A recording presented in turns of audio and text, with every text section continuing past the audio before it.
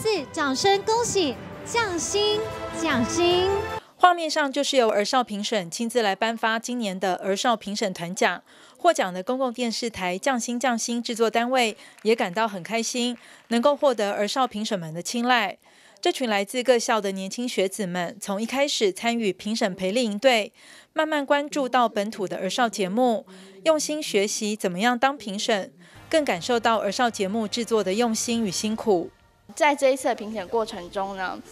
我们这次选出来的是匠心匠心。那匠心匠心这一次，他呢就带出了很多公共的议题。那我觉得这在我们从小就有对于对待这种公共议题的热忱，所以我觉得制作这些。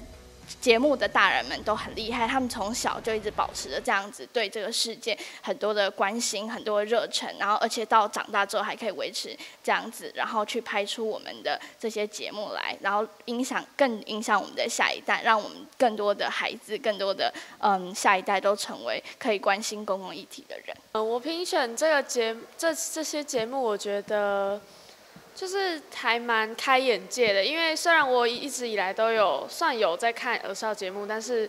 就不知道现在新型的儿少节目有这么多种样的呃领域。像是我就觉得《匠心匠心》这个节目就是蛮有意思的，因为这个领域是我们平常比较少会接触到的。如果是低于十二岁以下的的儿少节目的话，以我们比较年纪比较大的角度来看，我就会觉得可能没有这么准确。但是我也会试着用，呃，可能那个年龄层小朋友的角度去评选。参加完这个活动之后，我我最喜欢的影片是女孩上场，因为在。现在这个时代，还是会有一些父母觉得，为什么女生要打球，然后不要注重功课。然后我觉得看完这部影片，我推荐这个影片给家长看。呃，希望大家都会关心呃二少的节目。像我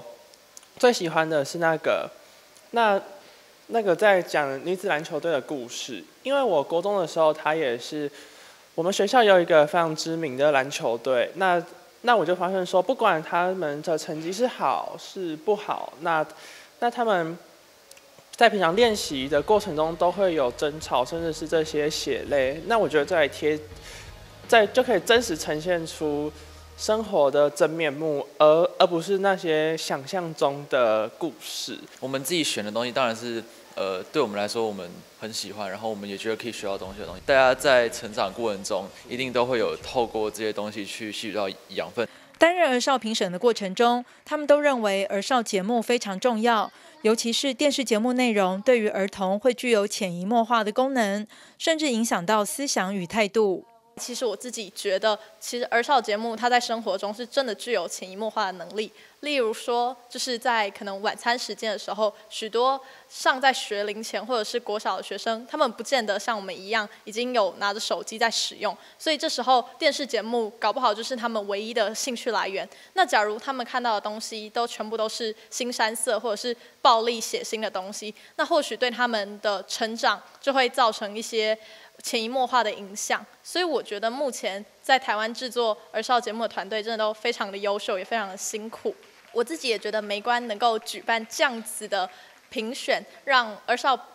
评审纳入评选的行列，是一件非常有意义的意义的事情，并且它也能够唤起大众对于儿少节目议题的重视。这次担任儿少评审的经验，让这群年轻学子们收获满满。他们对于台湾媒体观察教育基金会每年持续举办儿少节目的评选与颁奖感到非常支持，也希望这股力量能够让更多优质的本土儿少节目被观赏、被看见。记者陈淑平台北报道。